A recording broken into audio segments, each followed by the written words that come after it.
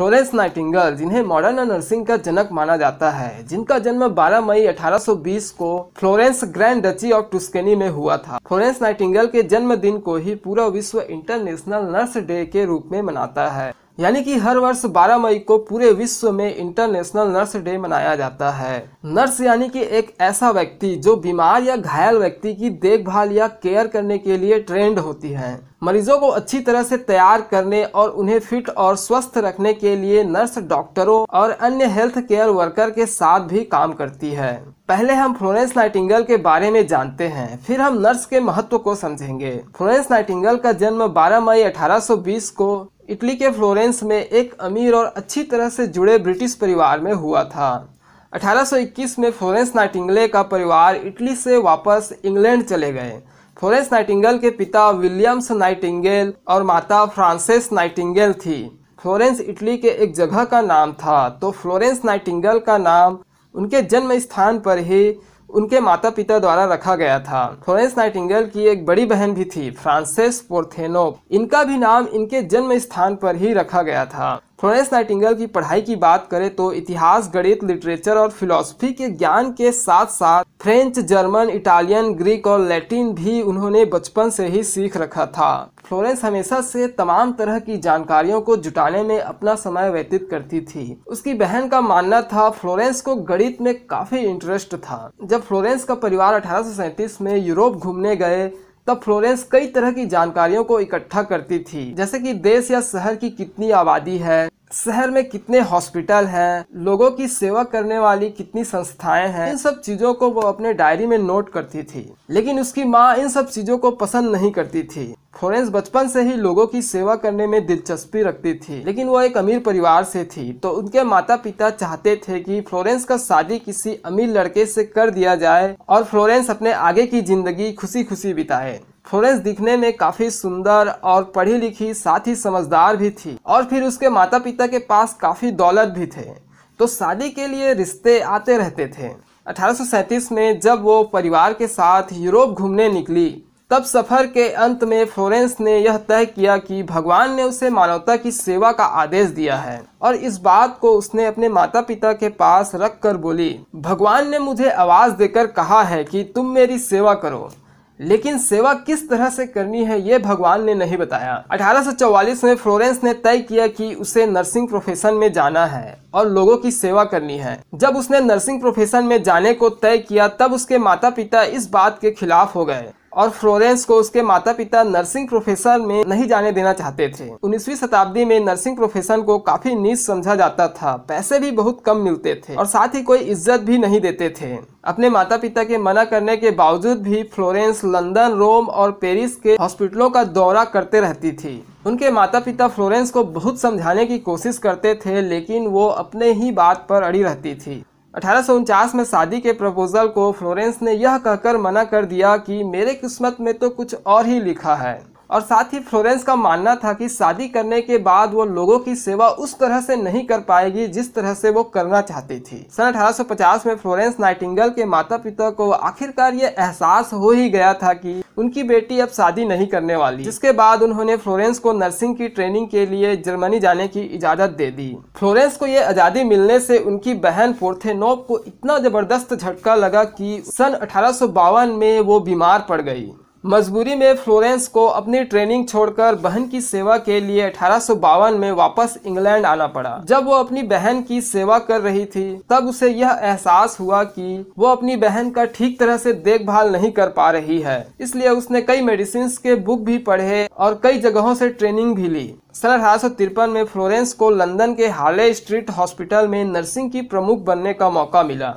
इस तरह वो एक नर्सिंग प्रोफेशन में चली गई। लेकिन फ्लोरेंस नाइटिंगल चर्चा में तब आई जब अठारह सौ तिरपन में क्रीमिया का युद्ध शुरू हो गया था। इस युद्ध में एक तरफ़ से फ्रांस, ब्रिटेन और तुर्क और दूसरी तरफ़ से रूस अकेला था। एक्चुअल में इस युद्ध में रूस तुर्क पर अपना अधिकार जमाना चाहता था। लेकिन ब्रिटेन का ऐसा मानना था कि इससे उसे नुकसान हो रहा है। फ्रांस भी तुर्क पर अपना अधिकार जमाना चाहता था, लेकिन वो रूस के खिलाफ था। इसलिए फ्रांस, ब्रिटेन और तुर्क एक साथ आ गए और रूस अकेला तीनों से लड़ रहा था।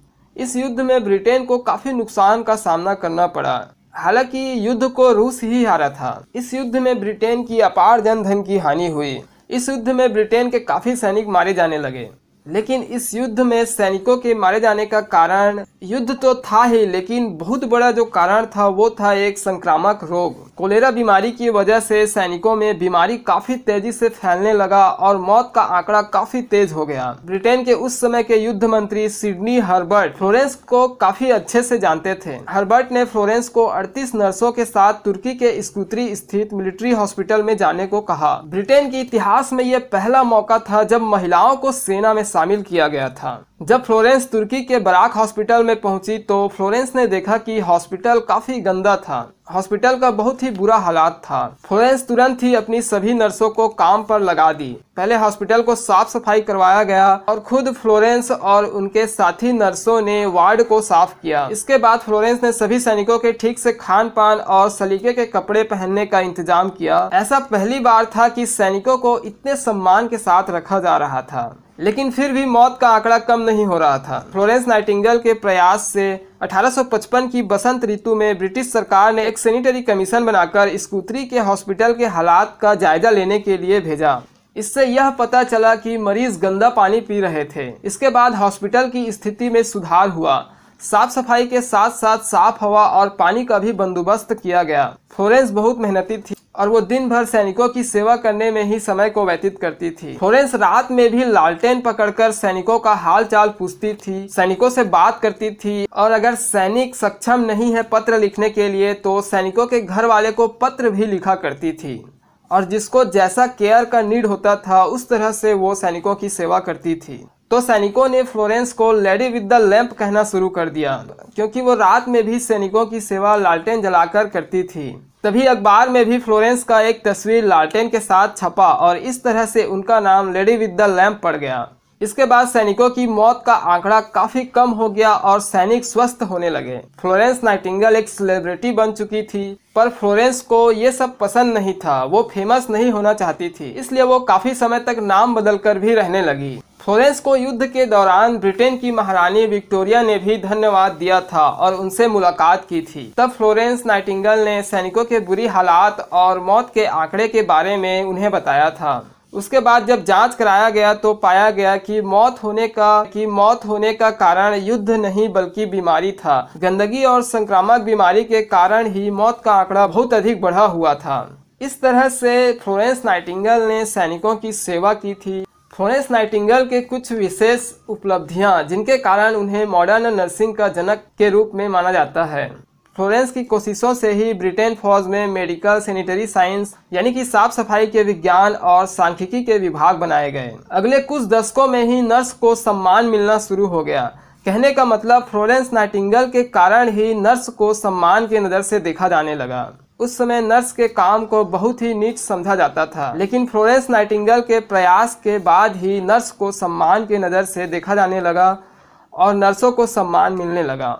हेल्थ केयर सिस्टम में आज साफ़ सफ़ाई पर जो इतना ज़ोर दिया जाता है, वो लेडी विद द लैम्प के कारण ही संभव हो पाया था। फ्लोरेंस नाइटिंगल के प्रयास से ही क्रीमियम युद्ध में तेज़ी से सैनिकों के मौत का आंकड़ा गिरा। फ्लोरेंस नाइटिंगल भी तमाम डॉक्टरों की तरह मानने लगी थी कि बीमारी इसी सूक्ष्म जीव के कारण ही फैलता है। अपनी लोकप्रियता का बहुत चतुराई से फ़ायदा उठाकर फ्लोरेंस नाइटिंगल ने सरकारों को लोगों की बेहतरी के लिए कदम उठाने पर मजबूर कर दिया। फ्लोरेंस नाइटिंगल बहुत ही चतुर थी। लोगों तक अपनी बात पहुँचाने और उन्हें मनाने का फ्लोरेंस का तरीका एकदम अलग ही था। हॉस्पिटल में साफ़ सफ़ाई पर ज़ोर दिया जाने लगा। फ्लोरेंस ने अठारह सौ उनसठ में एक बुक भी लिखी थी, जिसका नाम था notes on nursing and notes on hospital. उसके अगले साल ही फ्लोरेंस के नाम पर ब्रिटेन में नर्सिंग स्कूल की स्थापना हुई। 1906 में फ्लोरेंस नाइटिंगल ने भारत का भी आंकड़ा जुटाई और भारत में ब्रिटिश सैनिकों के हेल्थ को बेहतर बनाने का प्रयास की थी। उस टाइम हमारे देश में ब्रिटिश शासन मतलब अंग्रेज़ों का शासन था। अब थोड़ा नर्सेस का महत्व को समझते हैं। नर्सेस ही एक्चुअल में पेशेंट का देखभाल करती है। नर्सेस का काम ही है पेशेंट का हर तरह से सेवा करना। साथ ही उसके फैमिली मेंबर को भी सपोर्ट करती हैं। नर्सेस ही पेशेंट को असेस और ऑब्ज़र्व करके उसके प्रॉब्लम के अकॉर्डिंग पेशेंट की सेवा करती है। साथ ही डॉक्टर के साथ भी कॉपरेट करके डॉक्टर का भी हर जगह साथ देती है। एक लाइन में कहा जाए तो नर्सेस ही एक्चुअल में पेशेंट और उनके फैमिली की हर तरह से देखभाल और सेवा करती है। Founder of modern nursing Florence Nightingale ने एक लाइन कही थी, मैं अपनी सफलता का श्रेय इस बात को देती हूँ, मैंने कभी कोई बहाना नहीं बनाया। अगर इसी तरह का वीडियो देखना चाहते हैं तो चैनल को सब्सक्राइब कर लें, साथ ही बेल आइकन भी प्रेस कर दें, ताकि आपको न्यू वीडियो का नोटिफिकेशन मिलता रहे। वीडियो अच्छा लगा हो तो लाइक कर दें, साथ ही कमेंट करके सुझाव दें, आपको वीडियो कैसा लगा। थैंक यू फॉर वॉचिंग आपका हर दिन शुभ